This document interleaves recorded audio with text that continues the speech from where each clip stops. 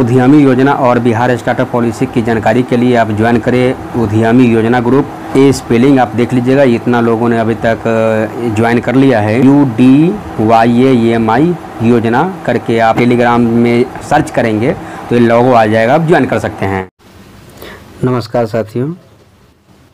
आज के इस वीडियो में मैं बात करूँगा, आप यहाँ पे देख सकते हैं हर माह एक समीक्षात्मक बैठक होता है, उसमें रैंकिंग जारी किया जाता है। और रैंकिंग जारी का जो पैरामीटर क्या होता है, वो मैं आज पूरा पर्दाफाश करूँगा। मेरा एक लक्ष्य रहता है कि उद्यमी योजना के बारे में ये टू जेड जानकारी आपको मिल जो भी छोट छोटी से छोटी या बड़ी से बड़ी नोटिस हो, मैं आप तक मैं लाता रहता हूँ। आपके हित में ये चैनल बहुत ही लाभदायक साबित होगा और आप लोगों का लाल प्यार दुलार से ये चैनल जो है ग्रो कर रहा है। और आपका सपोर्ट मुझे बहुत मान्य रखता है। इसलिए आप, इस चैनल को ज़्यादा से ज़्यादा अपने दोस्तों तक पहुँचा दिया करें। इसमें आप देखेंगे कि जो ये नोटिस है, ये नोटिस क्या है, वो मैं थोड़ा एक झलक में आपको बताता हूँ। यहाँ पर देखेंगे कि जो सेवा में दिया हुआ है, तकनीकी निदेशालय द्वारा, ये सब्जेक्ट यहाँ पे जो विषय है, वो इसको आप थोड़ा हेडलाइन के तहत समझें। जनवरी 2023 का परफॉर्मेंस ऑन ऑब्जेक्टिव पैरामीटर्स यानी पीओपी स्कोर एवं समकक्ष वर्ग में रैंकिंग प्रतिवेदन के संबंध में ये दिया हुआ है। यानी पीओपी क्या होता है? पीओपी स्कोर क्या होता है? और रैंकिंग क्या होता है? वो मैं थोड़ा आपको मैं बताऊँगा। भाई, थोड़ा सब रखें। एक एक बात मैं आप तक मैं रख दूँगा। ये 22 फरवरी 2023 को ही एक बैठक हुआ था। उसके आधार पर थोड़ा आगे की ओर यहाँ पे देखेंगे ये नवीनतम ही है। यानी 17 मार्च का ये नोटिस है। कोई ज़्यादा पुराना नहीं है।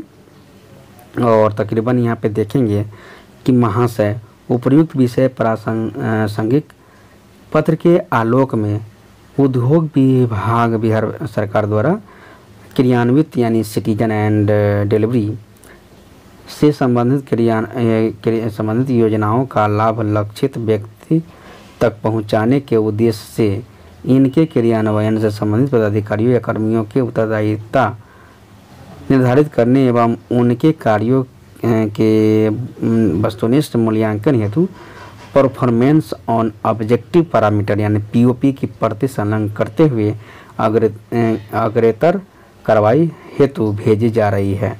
यानी ये जो है हर जिल, जिला उद्योग केंद्र में ये पदाधिकारियों को जो कर्मियों हैं उनको भेजेगा। इसमें क्या है कि जो 17 मार्च को ये नोटिस जारी किया गया है ये मेनली ये है आईईओ जो रैंकिंग पैरामीटर है, वो है। मैंने एक वीडियो में चर्चा किया था, जैसे कि यहाँ पे देख सकते हैं कि पीएम ईजीपी लोन हो गया। उसमें रैंकिंग पैरामीटर यहाँ पे दिया हुआ है। हो सकता है कि आपका यहाँ पे देखेंगे पीएम ईजीपी में जैसे सेंसन जारी होता है डिबर्समेंट होता है, और वेरिफिकेशन होगा। तो इसी के आधार पर जिस जिला में जितना हाँ कोई भी योजना है उसमें कितना काम हुआ है उसके आधार पर पैरामीटर वो देगा तब जाकर के हर माह इसका रैंकिंग जारी किया जाता है। आप देखे होंगे कि इस बार जो आ, रैंकिंग जारी हुआ था आपका तकरीबन फरवरी का तो उसमें आप देखेंगे शिवहर फ़र्स्ट स्थान पर था कभी नालंदा फ़र्स्ट में रहता है तो कभी कोई रहता है तो ये रैंकिंग किस आधार पर होता है वो यहाँ पे दिया हुआ है। जैसे यहाँ पे देखेंगे कि सेंसन ऑफ़ पी लोन का अगर सेंसन होता है तो उस सेंसन कितना सेंसन किया गया है? टोटल अधिकतम जो आ, मार्किंग देना है दस अंक मिलेगा। लेकिन देखेगा कि भाई जो पी एम लोन है माने अमुक ज़िला में सभी जिला का अलग अलग तो देखेगा कि मैं हो सकता है पीएमईजीपी लोन के लिए सेंसन अगर अच्छा खासा किया है तो अधिकतम दस अंक मिलेगा नहीं तो दो तीन अंक मिल करके वो रह जाएगा। वो आप अपने टारगेट के अनुसार वहाँ पे देखेंगे टारगेट जो मार्किंग है, यहाँ पे देखेंगे, दस है, यानी अधिकतम, जो दस तक दिया जा सकता है। इसमें है कि ये वाला जो आप देखेंगे, पाँच अंक हैं, और फिर जो वेरिफिकेशन के लिए अगर पाँच, अधिकतम पाँच अंक दिया जाएगा टोटल यहाँ पे देखेंगे दस, पाँच पाँच तो ये बीस हो जाएगा पीएमईजीपी लोन के लिए। इसके बाद है कि आपका एक आ जाएगा M U Y ranking parameter यानी मुख्यमंत्री उद्यमी योजना रैंकिंग पैरामीटर क्या होगा, किस आधार पर पर वो लेंगे। तो यहाँ पे दिया हुआ है कि सेकेंड जो ट्रांस डिवर्समेंट है तो इसके आधार पर अधिकतम दस अंक दिया जा सकता है। फ़ील्ड वेरिफिकेशन में जब जाता है तो वहाँ पे देखेंगे कितना जगह पे जैसे हो सकता है कि किसी जो ज़िला है डेढ़ सौ लोग हैं।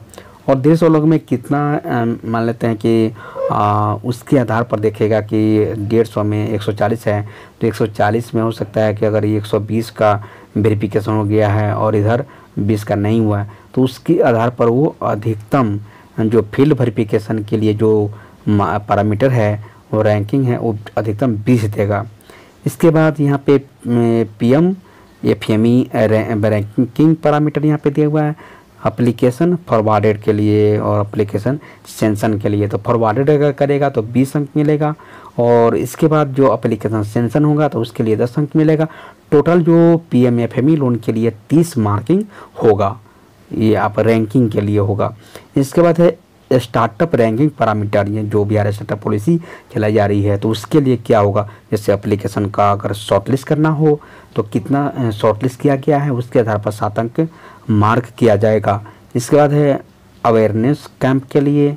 अवेयरनेस कैंप अगर कितना किया है, उसके आधार पर अधिकतम तीन अंक मिलेगा और टोटल सात जो है स्टार्टअप रैंकिंग के लिए होगा। इसके बाद M S M E ranking हो गया उद्यम रजिस्ट्रेशन हो गया जेड जो है जेड ई डी है ना? जेड ई डी सर्टिफिकेशन इसके लिए अधिकतम दस अंक निर्धारित किया गया है। तो टोटल यहाँ पे देखेंगे मेरे भाई के यहाँ पर जो दिया हुआ है कि पैरामीटर वन है ना? P P M E G P loan के लिए और पैरामीटर वन टू थ्री ऐसे करके यहाँ पे देगा।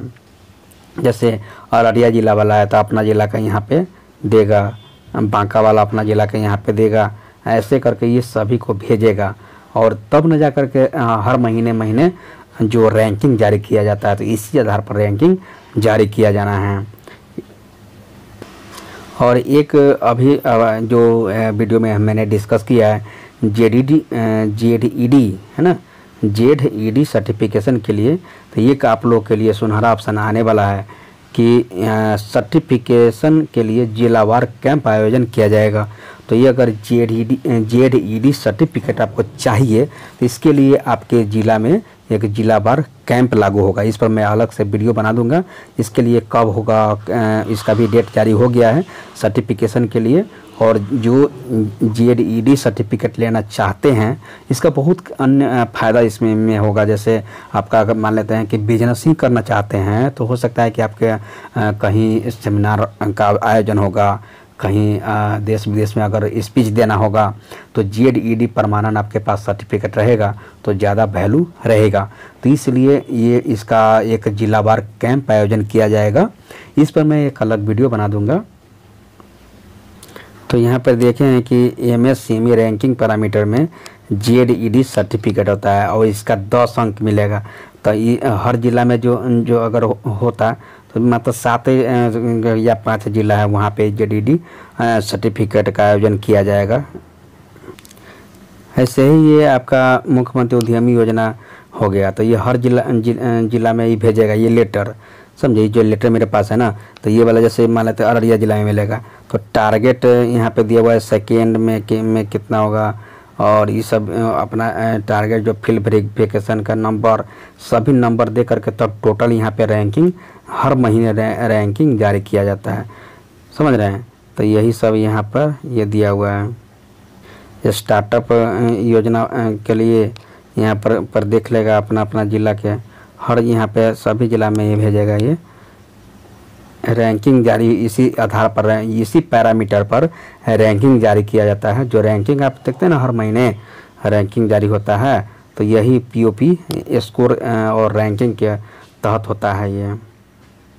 नमस्कार, मैं हूँ हरि नारायण कुमार। अगर आपको ये वीडियो पसंद आया हो तो इसे लाइक और शेयर ज़रूर करें। और हाँ हमें सब्सक्राइब और फॉलो करना ना भूलें, ताकि आप इस प्रकार के कोई भी वीडियो मिस ना करें। तो जुड़िए हमारे साथ और देखते रहिए B S T Telegram Instagram पर जुड़ने के लिए बी एस टी टाइप करना है। B S T all tips type करना है। बी एस टी एक साथ रहेगा ऑल एक साथ रहेगा। टिप्स एक साथ रहेगा। टाइप करेंगे तो यहाँ पे आ जाएगा यहाँ पे मेरा लॉगो भी लग रहा है।